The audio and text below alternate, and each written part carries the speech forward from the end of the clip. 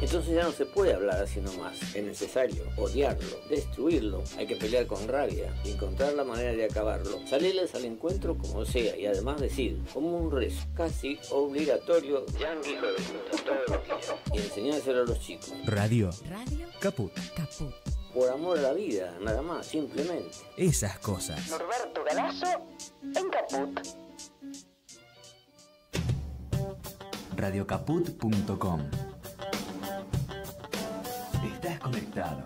Estás en Caput.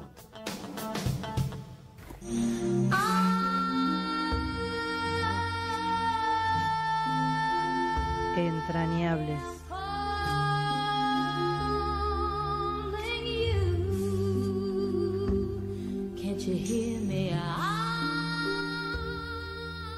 Muy buenas tardes. Mi nombre es Silvia Gamarra y hoy, solo por hoy, voy a estar ocupando este lugar que conduce Martín García de una forma gratificante.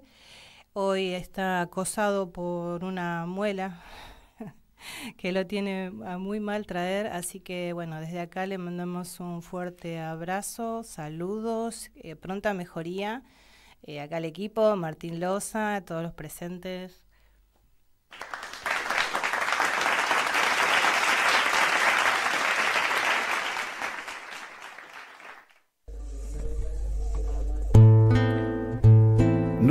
Noche eterna. La tercera más Baranchuk.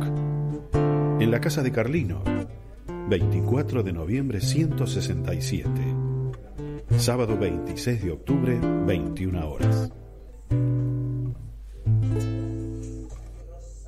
Bien, acabamos de escuchar la promo y aquí tenemos a los invitados que son los protagonistas de esta promo, a Mariana Baranchuk y a Luis Alberto Beto Azurey. Bienvenidos a este espacio. Muchas Gracias, Silvia. Gracias por la invitación, che. Bien, Eh, bueno, vamos a presentar a Mariana, que es doctora en comunicación en la Universidad de La Plata, la UBA, que justamente estamos en pleno, plena convulsión, este, y acá tenemos una representante de la Universidad de Buenos Aires. De la Universidad de Buenos Aires, eh, como en mi formación como docente, también de la Universidad Nacional de Quilmes y de la Universidad Nacional de José Cepaz, digamos, también todo este conjunto de universidades del país y, de, y, las del conurbano, eh, por un momento muy particular eh, por el que estamos pasando y en este momento con todas ellas, por lo menos las tres en las que yo trabajo, con las universidades tomadas por, por los estudiantes de prácticamente todos los colores políticos que hay en, dentro de, la propia universidad. Mayoritariamente, las, las cuestiones que hubo en estos días y ayer eh, fueron eh, producidas no por estudiantes, sino por infiltrados, este, bueno, que ya es de público conocimiento las situaciones que estuvieron pasando. Y bueno, y ahora hay intimidaciones a docentes en José Cepaz, etcétera. Eh, así que nada, un abrazo para todos los colegas, para todos los estudiantes. Les damos Eh, acá sí, todo nuestro apoyo, nuestra solidaridad y seguimos en lucha. Eh, las universidades nos entregan. Las universidades son del pueblo. ¿No es así? Bien, Mariana, eh, sos poetisa. Has, escri- has escrito y a partir de ahí, contame. Eh, entré a la escritura por, por distintos lugares y, y creo centralmente que hay un, un- un amor por la palabra, y, este, porque la escritura salva. Este, y bueno, y este proyecto en conjunto con la tercera, donde está el Beto Azuré y Diego Valdecantos y José Luis Conrado, eh, arrancó por un- el último libro de poemas y charlando con Beto, digo que yo venía escuchando las cosas que estaba haciendo también Beto como solista, este, dice, ¿y por qué no hacemos algo juntos? Y dale, este, centralmente primero no, y, convenció al resto de la tercera, este, al segundo y al tercero, y ahí arrancamos en, en esta experiencia que, nos está dando, digamos, por el momento en proceso de ensayo, estamos estrenando el 26 de octubre, pero este, nos gusta a los cuatro cómo, cómo, cómo va saliendo, disfrutamos los ensayos, ahí se va amalgamando este espectáculo que se da en llamar No es de la noche ser eterna, y que estamos, digo, nada, e- es muy... En algún lugar es, es una experiencia nueva, a veces nos es difícil explicar de qué va, porque no es un concierto de música, tampoco es una obra de teatro, tampoco es ahora se lee un poema, ahora se, ahora se canta. Es una amalgama, un- un- un- una cuestión que vamos viendo cómo, cómo se entrelazan, cómo dialogan estos poemas con, con estas músicas y estas músicas con estos poemas. poemas. En realidad es todo un, un mismo lenguaje y le estamos buscando la vuelta y nos estamos divirtiendo y esperamos que les guste Eso a todos cuando se estrene el 26 de Eso es octubre. lo maravilloso, ¿no? Poder divertirse cuando uno hace algo y más cuando está creando. Eh, nuestro querido acá compañero Beto Surey, bueno, cantautor, eh, tenés una larga trayectoria, tenés una... Y esa trayectoria musical me parece que tiene que ver un poco con la militancia, un poco Sí. desde ese lugar. Contanos un poquito. Eh, sí, la- eh, yo vengo tocando desde muy, desde muy joven, este, allá por los 80, o sea, hasta, y si, te- si- si tengo que referirme a mis primeros escarceos arriba de un escenario, Sí. serían este, en el Colegio Antonio Devoto, este, con el grupo musical de folclore de, de séptimo grado. Qué bueno. Y la, profe- y la profesora Amelia, que era Mira. mi primer amor imposible. Ah, le mandamos un saludo a la Sí, profesora. Amelia maestra, me enseñó mucho Amelia.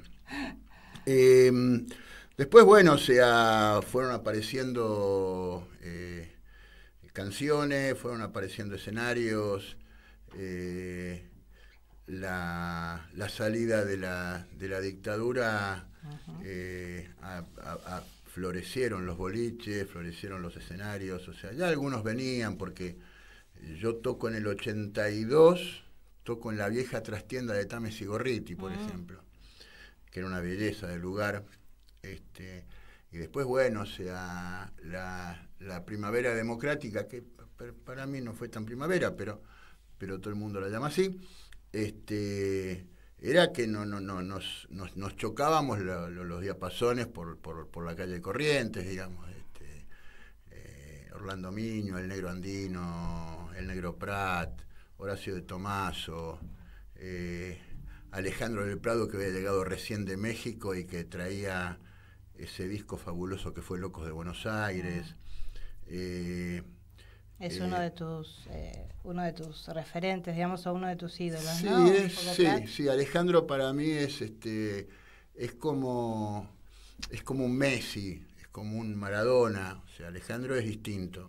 Ah, eh, yo reconozco mucho la obra de mis compañeros, este, hay cosas bellísimas, qué sé yo, el Negro Prat tiene unas cosas de la hostia, el Negro Andino, todos, todos tienen cosas muy bellas, este, y yo por ahí algún zapatazo metí, este, pero lo de Alejandro para mí es, este, es otra cosa, digamos, es, es como un Messi, o sea, inventó una manera de tocar la guitarra, eh, no sé, es... es Hay algún comentario por ahí que dijiste que una vez que lo escuchaste a él dijiste, bueno, yo me dedico a otra cosa.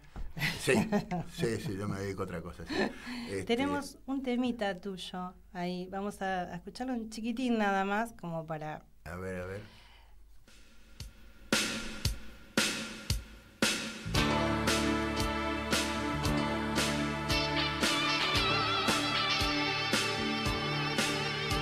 ¿Quién podrá detener a nuestros sueños? Que será más feroz que nuestras almas. Todo puede suceder como quisimos. Se trata de elegir nuestro destino.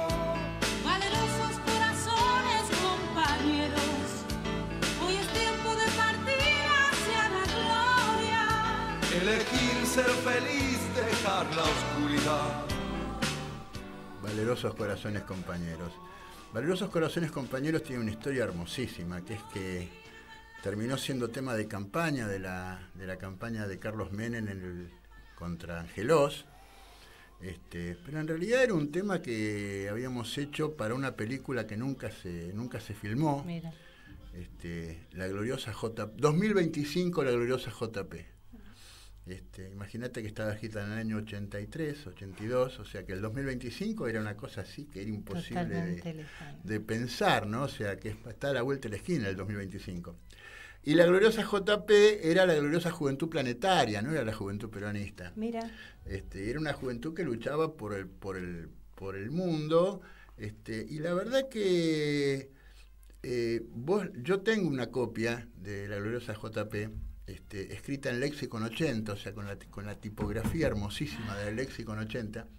Este, y lees partes de la, de, de- del- del- de la, de la película, estábamos, estábamos proféticos. O sea, muchas cosas. eh, la, la te- la temible computadora que el imperio iba a instalar en la luna para controlar el clima y qué sé yo, que era contra lo que luchaban los jóvenes planetarios, no estaba muy lejos de la inteligencia artificial.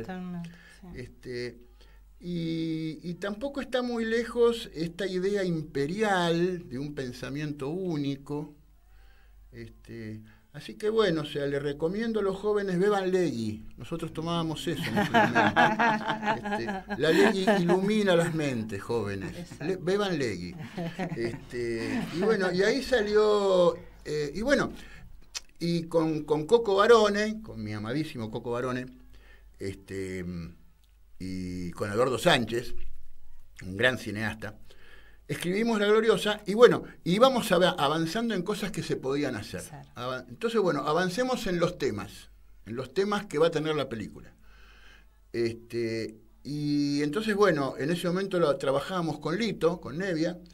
Yo escribí la, escribí la, la letra y Lito en una tarde la musicalizó y la musicalizó perfecto. ¿viste? Impresionante. Eh, la llamó a Claudia Brandt, que estaba laburando con Lito, qué sé yo.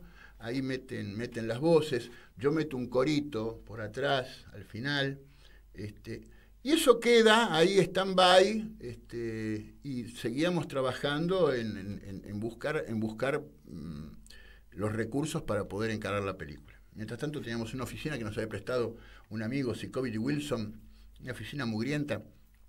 Este, y ahí teníamos todos los, la- todas las- todos los dibujos de las secuencias de la, de la peli. Estaba el chino Collado. Mira, El chino Collado, uno de los mejores iluminadores de la Argentina y una de las personas más malas. Malas. Este, sí, sí, malas, malas. O sea, excepto que fueras amigo de él, el chino Collado era feroz. era. Este, era una yarará rabiosa. Ah, si eras amigo, no. Si eras amigo, colabas. Claro. Este, eh, bueno, y en ese, en ese devenir, eh, Valerosos Corazones cae en lo de Pepe Albistur. Yo empezaba a trabajar como, crea- como creativo publicitario para Pepe, y en una reunión de inicios de campaña, Pepe lleva y dice, este es el tema de la campaña. Y estaban, me acuerdo, la- una delantera complicada, o sea, estaba Dromi, estaba el Chupete Manzano, estaba Eduardo, Eduardo Menem, estaba el, el- el Chupete, Eduardo Menem, Dromi, eh, Carlos Grosso, bueno. Entonces la ponen y, y este y Eduardo Menem dice, esto es lo que quisiera decir Carlos si Carlos pudiera escribir una canción. Mira. Y ahí pasó, y pasó a ser jingle, este, y todo el mundo pensaba que estaba hecho para, Para eso. No, campaña, no, o sea, la canción era, era, era previa a, a toda la campaña y qué sé yo. Todos teníamos mucha simpatía por Carlos Menem. Yo había militado para Menem en la interna, este, porque a mí la renovación un poquito me, me- me tocaba los cojones. Este, o sea que yo estaba encantado Claro. de, de- de que- de que fuera así. Este, y bueno, y ahí estuvo valerosos, valerosos corazones compañeros. Martín García en su programa, cuando va a presentar a todo su equipo, pone valerosos compañeros. y hay oyentes que lo, se han comunicado y decían, "Ah, ese tema es como que fue una cosa impresionante. el otro muy día- fuerte". Aún para los que éramos cafieristas. Sí, no, bueno, pero ya a esa altura del partido, cuando sale Valerosos, ya todos estábamos metidos en el baile, digamos. Claro. Se había ganado la interna. Así son las este, internas, el que gane conduce, el que pierda acompaña. Este, y los dos se joden finalmente. Por- por- porque, porque la mesa chica hace lo que se le canta los gente. Exacto. Eh, Ahí pasamos a otro, a otro otro tema ya. Pero Mejor no. sí, Claro. este, mm, no, te iba a decir algo más, pero se me fue de la cabeza. Ay, perdón. Da, sigamos. Bien, bueno, yo les voy, eh, para introducir a, a los oyentes en lo que va a ser este, este hermoso recital que ustedes van a hacer, el 26. 26 de octubre a las 21 horas en la casa de Carlino, que queda en 24 de noviembre 167. 167, querido. Perfecto, Sí, en la- 167, en la esto es gloriosa- eh, de va, Rivadavia, 11, sí, es 11, ahí 11. cerquita. ¿no? Dos cuadras, una cuadra de, de- de Cualquier transporte que se los deja en Rivadavia 24, el Ay. subte Estación Loria, este, caminan Sí. un poquito un y llegan. poquitito, si no llegan hasta 11 y después van caminando. Absolutamente. Eh, hay, hay, hay cómo llegar. Eh, Tenemos que ir a una tanda, mi querido Martín. Mandanos un WhatsApp. Mandanos Sarasa y Noticias. 11 65 16 44 46. Mientras dormís, puede estar apostando. Aunque no lo veamos, pasa. Empecemos por conversar. 0800-222-5462. Municipio de Morón, Corazón del Oeste. Un problema, un alivio. Que nadie nos escuche. Los martes a las 6 de la tarde. Que nadie nos escuche. Que nadie nos escuche. En Caput. ¿Cómo puedo hacer para escuchar Radio Caput en el celular? Primero lo importante. Prenda el teléfono. Eh, así se puedo acercar a saludarlos y Abra el Play Store de Google. Tipee en el cuadro de búsqueda Radio Caput. Caput con C. No desesperes. Es la única que hay. Toque el botón instalar y espere unos instantes. La aplicación de Radio Caput ha sido instalada exitosamente. Busque el icono en su celular los quiero mucho, los, re- los aprecio, los admiro mucho, lo que hacen, los felicito. y podrá escuchar la única y reemplazable programación de Radio Caput. Sería un placer para mí realmente. Radio Caput. Voces de los territorios. El verdadero relato. Voces de los territorios. Conduce Irma Caupán. Voces de los territorios. Los martes a las 9 de la noche. En Capó. ¿Querés arrancar la mañana bien informado? Infosiberia, las noticias en tu celular. Manda un mensaje de WhatsApp al 11 3205 8813 y recibilo gratis todas las mañanas. Infosiberia, las noticias en tu celular. No es de la noche ser eterna. La tercera más Paranchuk. En la casa de Carlino. 24 de noviembre 167. Sábado 26 de octubre, 21 horas. Muy bien. No es de la noche ser eterna. Es un encuentro poético, musical, es un maridaje, es un apartamiento, apareamiento, perdón, perdón, perdón, es un apareamiento. Entre ciertos poemas y ciertos cantos, signos, notas, intenciones, emociones, escena. El título está tomado en préstamo del poeta Daniel Martucci. Y bueno, ¿qué les parece si les regalamos a los oyentes? En vez, de, en vez de explicar qué es un maridaje y un apareamiento, Vamos a- mostrémoslo. vamos Claro.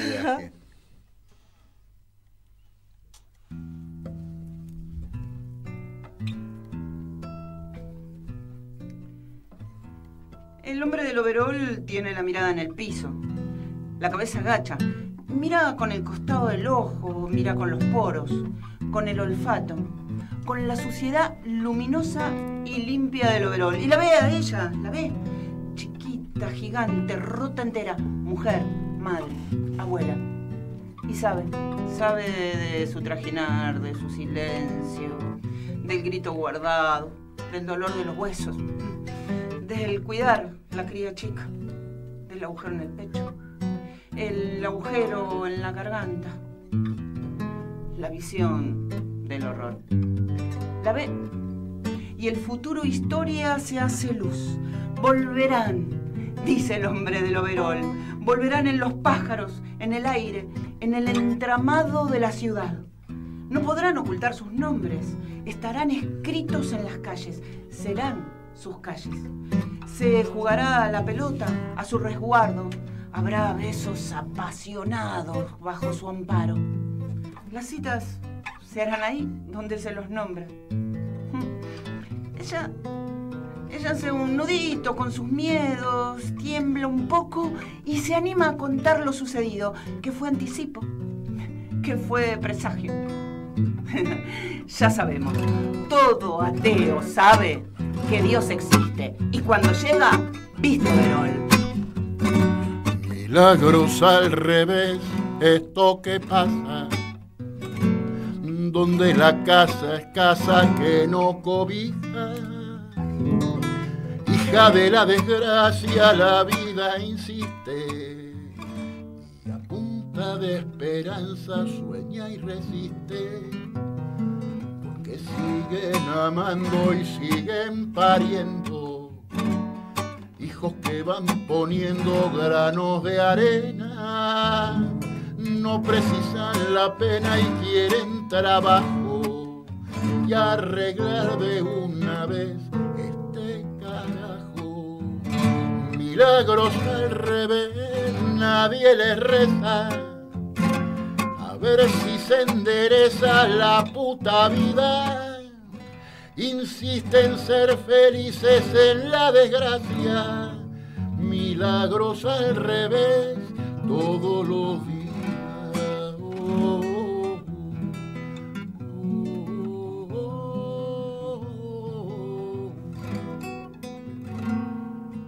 que siguen amando y siguen pariendo.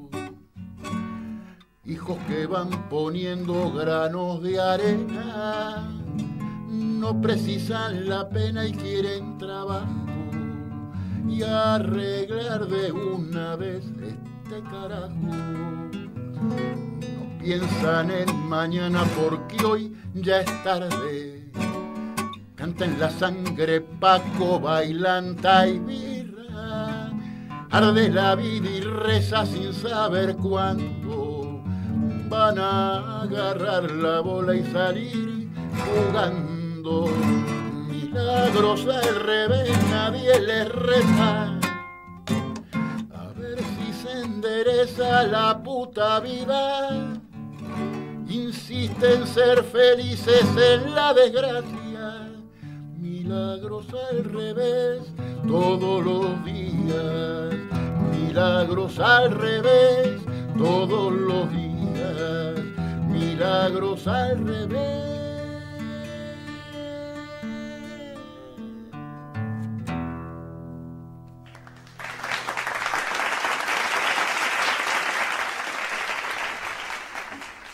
Insisten en ser felices a pesar de la desgracia. Qué fuerte, qué bueno, qué actual. Sí. Contanos es una un poquitito de la tercera. La tercera es un, es un grupo que armamos con José Luis Conrado. Con José Luis Conrado somos compañeros de escenarios y de cosas así desde los 80. O sea, tocábamos juntos a veces en Locos de Buenos Aires y qué sé yo. A Diego Valdecantos lo conocí a través de otro hermano, de Carlos Andino, hace unos 5 o 6 años atrás. Este, y, y bueno, yo, yo venía de hacer dos discos solistas, solista eh, con el Beto Serini Trío. O sea, eh, o sea el, trío de Beto Serini, con arreglos de Beto Serini, eh, habíamos hecho Escampa y Tenencia y Portación, dos discos solistas míos. Y yo andaba en la búsqueda de un disco más folclórico, más, este, menos, menos urbano, menos mugriento. Este, y, para eso sabía que el, trío de Beto, que es un trío impresionante, pero muy, muy ur- urbano, muy yacero, no, no, no iba a, resultar. Eh, y entonces empezamos a laburar con José y en algún momento lo convocamos a Diego. Este, pensando en ese disco que iba a ser un disco mío que se, que se va a llamar Lujo de Pobre, pero era la idea de, un sol- de, otra vez un solista convocando músicos. Pero en los ensayos empezaron a aparecer algunos temas de José, impresionantes, bellísimos. Entonces digo, mira, digo, abandonemos la, la- práctica del solista, digamos. Este, armemos, un, un grupo este, y, y laburemos sobre temas míos, sobre temas tuyos, sobre temas en los que aparte a veces compartimos pedazos de letras. Eh, y entonces Jos- José empezó a musicalizar temas míos, yo empecé a meterme en las poesías de José. Diego es una bestia arreglando y arreglando voces, tipo con una altísima capacidad, tanto de arreglos musicales como de arreglos corales. Entonces ya no era un solista, era, era un grupo que estaba metiendo, participando muy activamente. Empezamos llamándonos Azurey Conrado Valdecantos, ¿no? Eh, eso lo cambiamos rápidamente cuando yo me di cuenta de que este, nuestra avanzada edad conspiraba contra el Azurey Conrado Valdecantos que daba ACB. Y entonces nos pusimos Valdecantos, Azurey, Conrado. No, Conrado, Valdecantos, Azurey o algo así. O sea, sacamos el ACB del medio. Eh, y, y tampoco nos convencía mucho, esto parecía una, una, una fábrica de pastas, ¿viste? O una casa de muebles, o una tienda de... de- Asociados. claro, sí, asociados. Eh, este, atentos los oyentes, porque esto es un secreto. Vamos. Eh, sacamos el título. Estuvimos como un mes y medio sin ensayar, porque estaba enfermo yo, porque estaba enfermo José, porque estaba enfermo eh, Diego, porque esto. Le digo, che, pongámosle la tercera. La gente va a pensar que la tercera es como la tercera es la vencida, ¿no? o eh, no hay dos sin tres, o también la tercera como tercera aquella promesa de los que van a llegar a primera. Ah, bueno. En realidad es la tercera edad.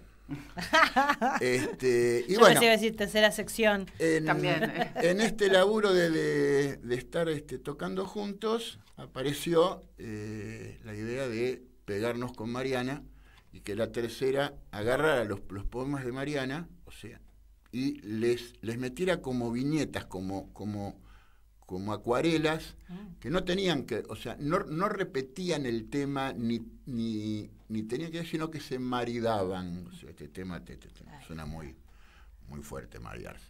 Este, y la verdad que está dando resultado, está dando resultado, eh, a veces por cosas evidentes, ¿no? O sea, y a veces por cosas que nosotros nos damos cuenta de por qué elegimos que ese poema Ese fuera poema. con ese tema, eh, y más los maridamos desde el, desde el alma, desde el espíritu, que desde... Desde la cabeza, desde sí. la relación Digo, en algunos tema. casos sí era, ah, mira, esto sucede acá y sucede acá también, vamos...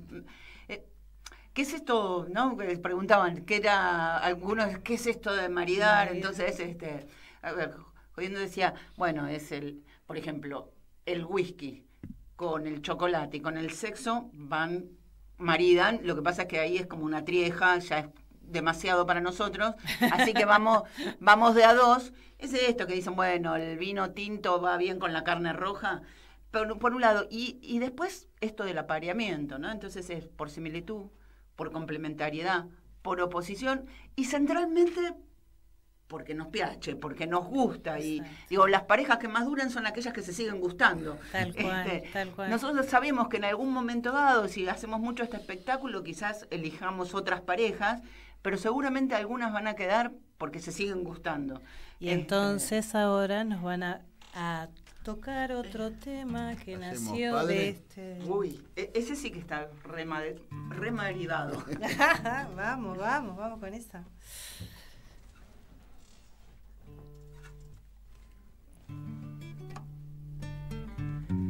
Quizás sea por las medias rotas para dormir que me llevé, o por la chalina que uso de corbata, o, el buzo, el buzo para el gimnasio.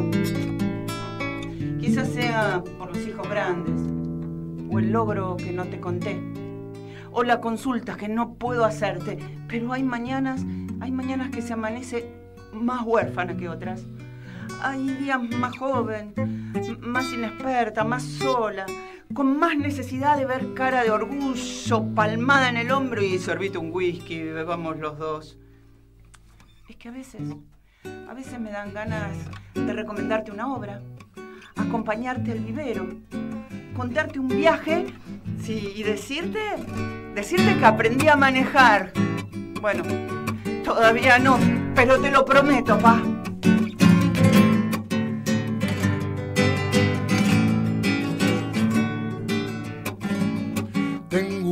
11, 25 y 7 tiros.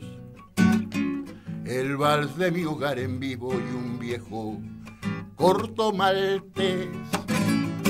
Dos botellas de un vino tinto y añejo, más una foto del viejo del año 73 Guardo todo muy juntito a mi cariño si los viejos se hacen niños solo es cuestión de esperar que nos pase este ataque de cordura y renazca la locura para volver a empezar.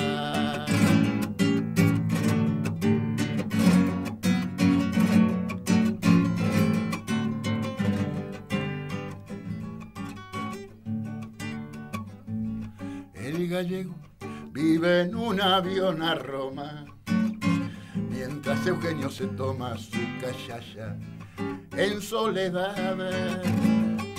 Mito anda de alpinista por los techos, varones saca provecho planeando que va a filmar. Yo no aflojo a pesar del desengaño, lo mío es el escenario, aunque no siempre es así.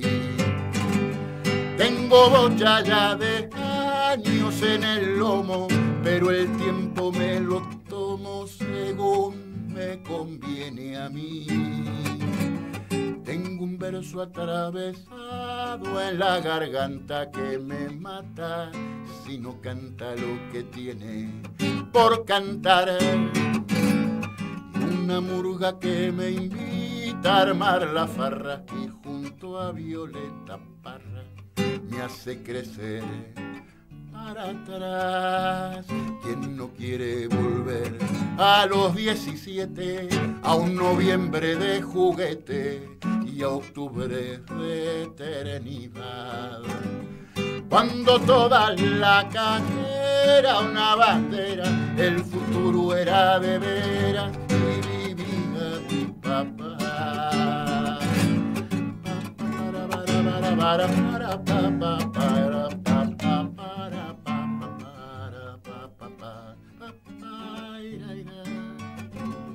¿Quién no quiere volver, Volver a los 17, los volver a los 17, a un los 17, noviembre de juguete a los 17, y a octubre octubre, octubre.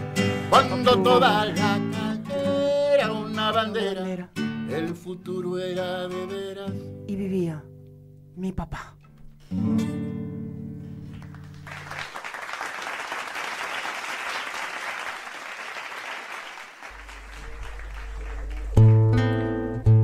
No es de la noche ser eterna. La tercera más Baranchuk. En la casa de Carlino. 24 de noviembre 167. Sábado 26 de octubre, 21 horas.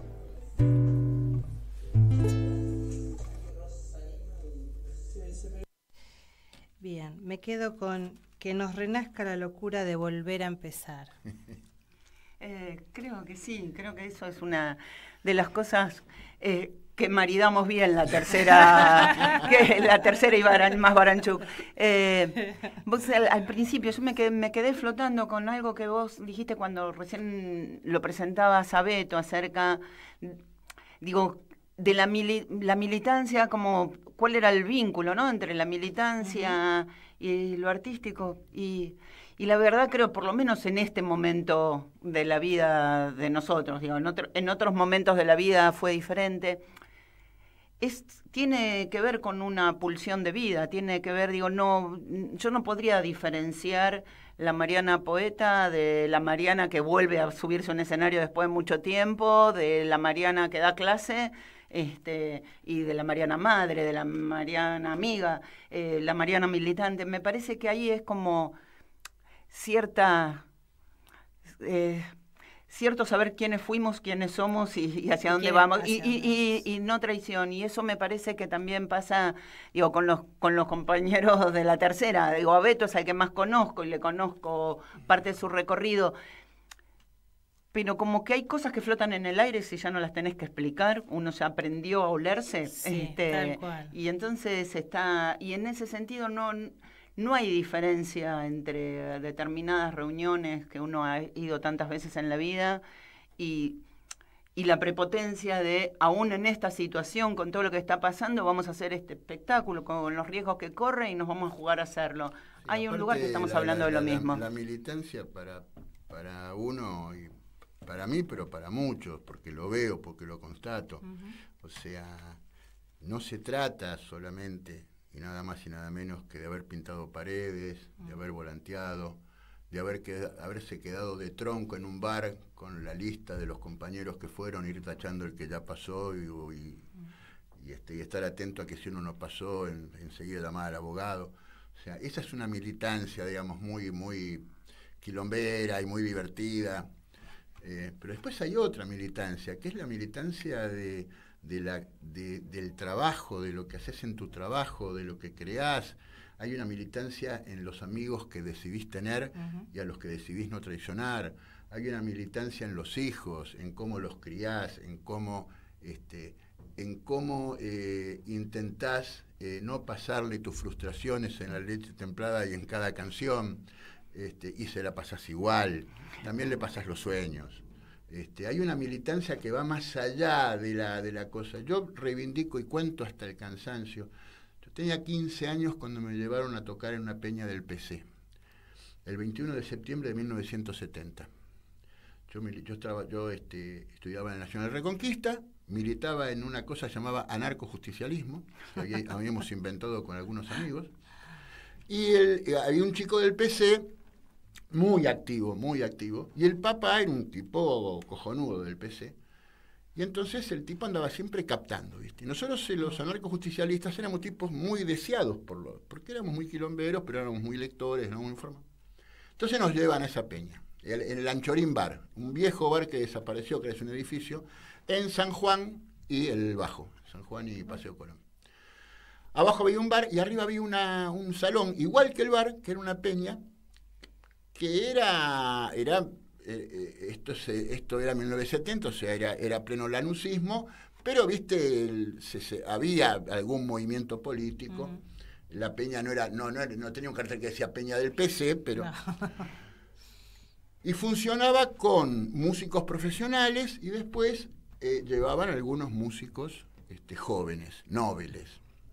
Esa noche cantaba el, quintito, el quinteto Tiempo, que eran impresionantes, y Manuel Picón, un uruguayo que a mí me, lo escuché y me voló la, yo no lo conocía, me voló la cabeza, me voló la cabeza. O sea, el tipo, unas milongas, una cosa. Este, y después nos dejan este, a tres chicos, muy jovencitos, yo tenía 15 años en ese momento, subir al escenario, entonces bueno, yo subo y toco mis canciones, porque ya de esa época no venía componiendo. Este, y había una milonga particularmente que arrancaba bastante bien, pero después se ponía, viste, era un panfleto espantoso. Bueno, yo termino, me bajo, me voy a la mesa con mis amigos, este, y se acerca Manuel Picón. Y me dice, ¿le puedo hablar? Manuel Picón tendría en ese momento 30 años. Este, para mí era un viejo, 30 años. Te doblaba lejos. Y aparte, este, ¿le puedo hablar? O sea, de usted, bien uruguayo. ¿no? Digo, sí, cómo no. Me dice, mire, dice, lo estuve escuchando. Dice, usted es todo un militante.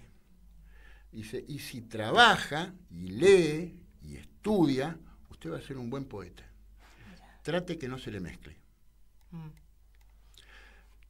Esa clase de Manuel Picón fue lo que a mí me llevó a que yo ando todo el tiempo jodiendo mis canciones con la política, con, con la presencia de Perón, con la presencia del peronismo, este, pero me cuido como de mearme en la cama de que eso no tenga alguna belleza poética. O sea, si no, si no tuvo belleza poética, el tacho de basura es un gran amigo para quien escribe. Este, entonces hay que leer, hay que escribirlo a la noche, leerlo a la mañana y decir no debo beber más y lo tiras. A veces uno lo tira mucho después incluso, pero dice eso no basta. Este, pero sí, claro. Pero bueno, así es la cosa. Eso le iba a preguntar a ambos. Eh, la inspiración, ¿cómo, cómo, cómo les surge? ¿Les Eh, viene en cualquier momento? ¿Lo piensan? Beto es más prolífico que yo este, en, en- en la escritura. Eh, puede ser, digo, puede ser de alguna situación personal o no. Digo, el, el primer, el, el primer poema que leí, el de El hombre del overol, no, digo, no tiene ningún anclaje personal con mi historia. Leí una cosa muy chiquita que el doctor Argarañas en Facebook había puesto de una historia personal de su abuela, este, que tuvo que criarlos a él y a- todos sus primos, este, una de las familias más diezmadas de Córdoba, y escribió un, un poquitito de una historia de su abuela que se encontró con un señor con overol y que le dijo algo, ella se asustó en ese momento, este, y le dijo volverán. Este, y se animó y lo contó. Y, pero eran cinco líneas eh, contando la anécdota. Y a mí me hizo... Me disparó y casi, esa por ejemplo, casi salió de un tirón, corregí algunas cositas, este, pero fue como, nada, me la regaló ahí.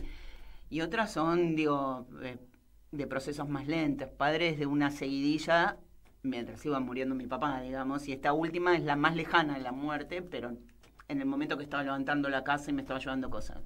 Eh, digo, y es así, eh, y a veces es por un recuerdo que viene así, o un aroma, porque la calle huele a algo y la- el aroma ahí te lo- viene lo captás y, y- claro. y va al eh, papel. Y, y va al papel, y sí, a veces, a veces las pruebo en, en redes y después las... Y, pero sí, después corrijo mucho, mucho, mucho, mucho, sobre todo si va a ir a papel. Este, ahí sí, eh, digo, hay procesos larguísimos y hay cosas impublicables. Este, Son, ¿Es tu acto principal o, o, o es este entre todas tus cosas que haces la poesía pasa a ser como, no digo un hobbit, porque es mucho más intenso esto, No, a ver, yo no, siento que hago hobby ni cuando cocino, digamos, este, y no vendo lo que cocino. Este, Sí, sí. eh, ocupa una parte importante de mi espíritu. Después tengo que salir a dar clases y tengo Sí, que responder a determinadas cosas, o sea, a veces el día se complica con otras cosas. Si vos me decís que quiero, si quiero, a medida que uno va creciendo y sabe que en algún momento toca ir dejando, es que vaya ocupando Más más, es- más espacios, tanto la escritura como, es, como esto, volverlo a poner en otro espacio, volver a, volver a, digo, mi primera carrera en realidad es puesta en escena y... son no- etapas. es- Y la- es y- que y hay cosas que quedaron en el freezer cual Walt Disney, este, pero que uno nunca, nunca se terminaron de ir. Y hay otras cosas que uno en la vida las dejó ir y ya está, digamos, esto. De- Que no, que no es necesario que vuelvan, ya, ya fueron transitadas. Este, la escritura, sí, e incluso cuando es escritura académica, yo pienso la escritura académica como una puesta en escena. Digo, no hay una lógica de escritura académica, pero yo sé que tiene que empezar fuerte, tiene que haber un nudo, que me puedo hacer la distraída en el medio y, te- y, Y al y el, y el chimpún tiene que ser un chimpún importante, digamos. Este, y así también pensé y, y colaboré de cómo armamos esta línea de con qué se empieza, con qué se puede terminar, con qué... Digo, eh, es un poco así, ¿no? Digamos, de, con una lógica muy ligada a la puesta en escena. ¿Y cuál nos vas a regalar ahora? ¿Qué, con, ¿qué vamos, Río? Vamos con Almagro, se nos Ah. de risa. ah, para. Almagro Almagro con el bar de Roberto. con el bar de Roberto. Esto tiene que ver con. Sí, sí, porque bares es un polvo. No, es, un, es una interna de algo que pasó el otro día. el Ay, otro día. cuente, cuente, queremos No, saber. a ver, estabas vos presente. Porque estábamos en otra radio y eh, estos maridajes y cuando largó la me la maridó con otra y yo lo único que podía hacer era mirarla con lo- mirarlo con los ojos abiertos Que que había- había, que había Sí. sucedido. Entonces era que lo repetimos, pero, pero va a estar Silvia. Se va a dar cuenta que la otra vez hicimos otra cosa. No importa, yo me olvido. Algo, algo como que no. El público se renueva. Se renueva, obviamente. Entonces, los almagros. Los almagros.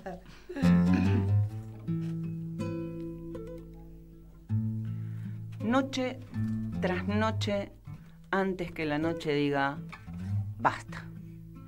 Deambular viendo si algo más se le puede pedir al día. Almagro se te ríe en la cara. Alguien comenta.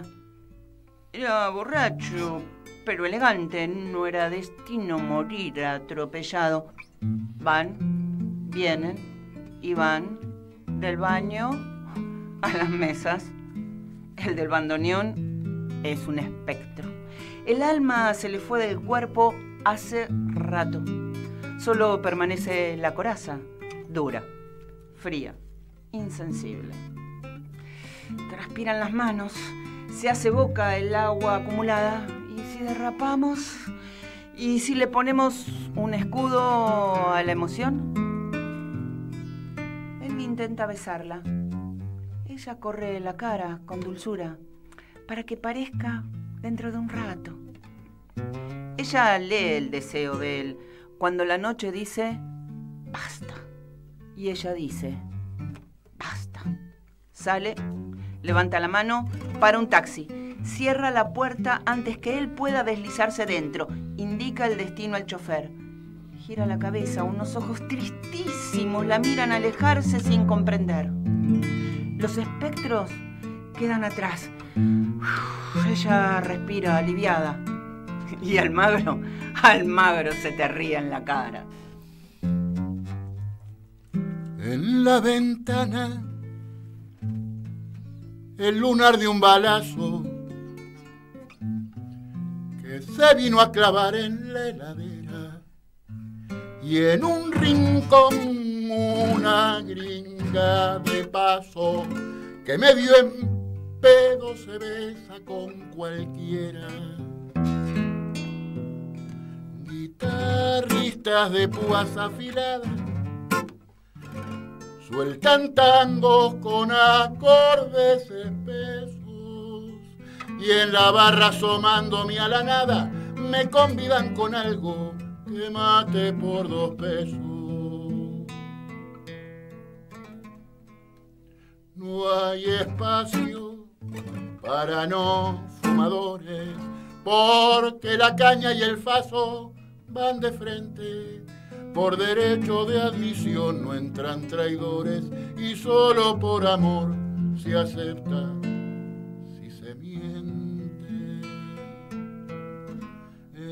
Elegantes cantores llamando en desoscuros, haciendo que la noche se nos vuelva más corta como en el carrusel que piloteaba el furo, si no te cura al menos te reconforta.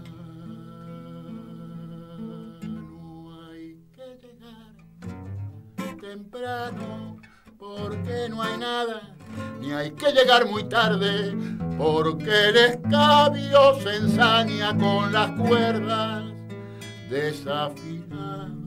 Hay que estar desde siempre o ser un sabio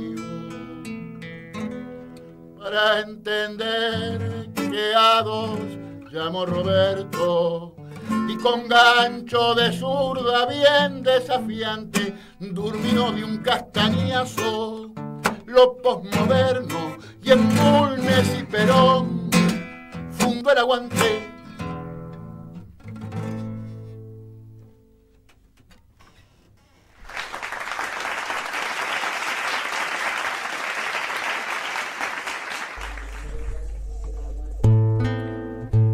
No es de la noche ser eterna.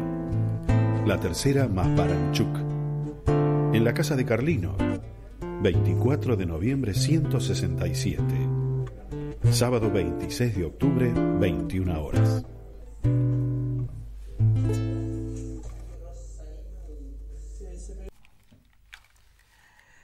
Bueno, yo me quiero quedar toda la tarde hasta acá. ¿eh? La verdad que es maravilloso. Maravilloso. Y entiendo que los oyentes también, pues son lujo. Los esperamos el 26. A vos, a Martín, este, vengan. eh. Y a todos los oyentes. Y a todos los oyentes, Claro. por favor. Martín Loza, por favor. A Loza también. ahí.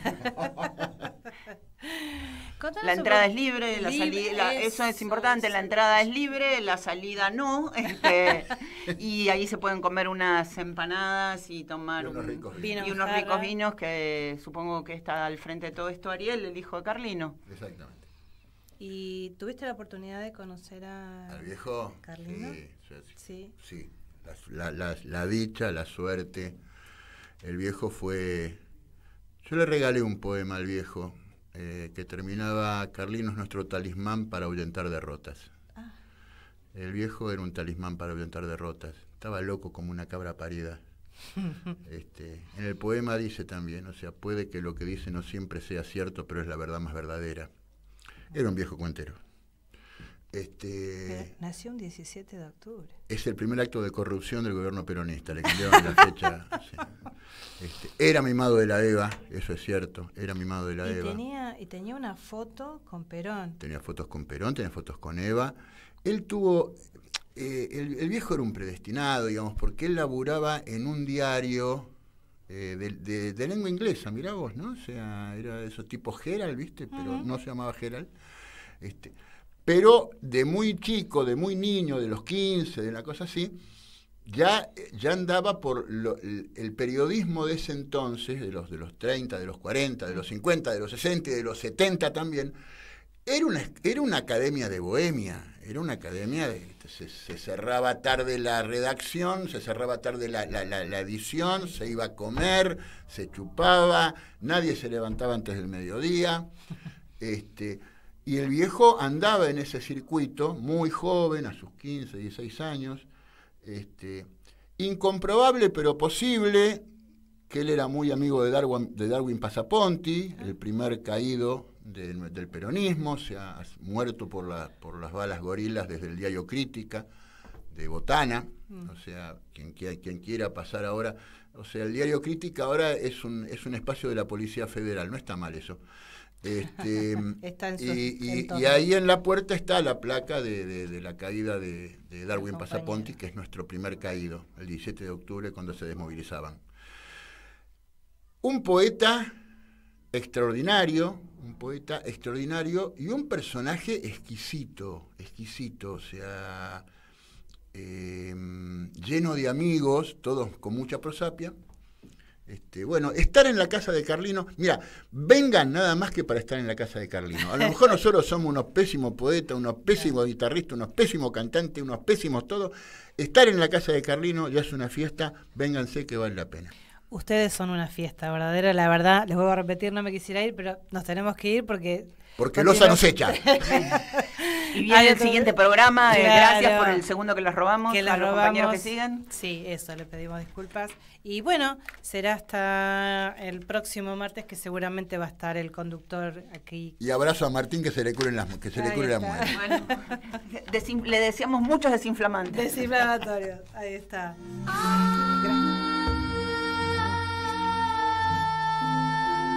Entrañables.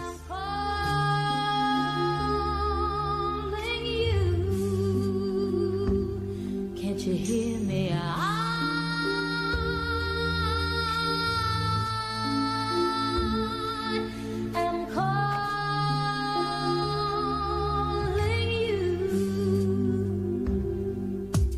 En Caput Quiero contarles un poco que pasa en Radio Caput. pasan cosas. Y cuando uno entra, todos te esperan con una sonrisa.